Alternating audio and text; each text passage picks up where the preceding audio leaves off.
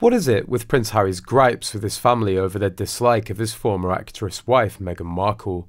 Oh, wait, it was Meghan who said that her royal in laws typecast her. During the Netflix docuseries, Meghan claims that the royal family typecast her because she's an American and an actress. First off, no, the royals didn't typecast her because of her career choice. They never judged Cressida Bonas, who's an actress, and they give zero Fs about Sophie Winkleman, who's the wife of Lord Frederick Windsor, being an actress. Sophie said multiple times that the family were very welcoming towards her and have never judged her career. The royals have never discriminated against anyone because of their ethnicity. For instance, King Charles had a black female courtier who worked for him for over a decade. The Queen had a black equerry who came to the public's attention during William and Catherine's wedding. There is a reason Meghan never fit in as a royal. She didn't want to put in the work as she thought being a royal meant being popular going to cocktail parties, and movie premieres. Oh, and the really big thing, having a fancy title.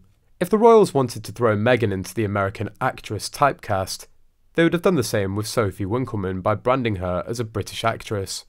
Writing in Spare, Harry opens up about Cressida Bonas's help breaking down his emotional barriers, and how after dating from 2012 to 2014, the couple ultimately broke up amicably. She was the first person to help me across that barrier to help me unleash the tears Harry explained of Cressida, helping him to cry for the first time since his mother's burial.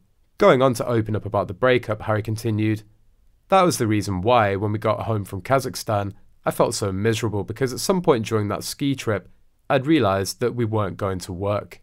I just knew, I think she knew as well, there was a massive affection there. Deep and abiding loyalty, but not love everlasting. She was always clear about not wanting to take on the stresses of being a royal, and I was never sure I wanted to ask her to do so. And this unalterable fact, though it's been lurking in the background for some time, became undeniable. Suddenly it was clear that this can't work. He continued, The day after we got home from Kazakhstan, I phoned a mate who was also close with Cress. I told him about my feelings and asked for advice. Without hesitation, he told me, If it's done, it's done and you need to get over it quickly. So I drove straight over to see Cress. She was staying with a friend. Her bedroom was on the ground floor, windows looking onto the street. I heard cars and people going by as I sat gingerly on the bed and told her how I felt. She nodded. None of it seemed to surprise her, really. These things had been on her mind as well. I've learnt so much from you, Cress. She nodded. She looked at the floor, tears running down her cheeks. Damn, I thought. She helped me cry, and now I'm leaving her in tears. While sad, the couple's breakup was clearly amicable, with the two remaining friends. In fact, Prince Harry and Meghan Markle even invited Cressida to their 2018 wedding.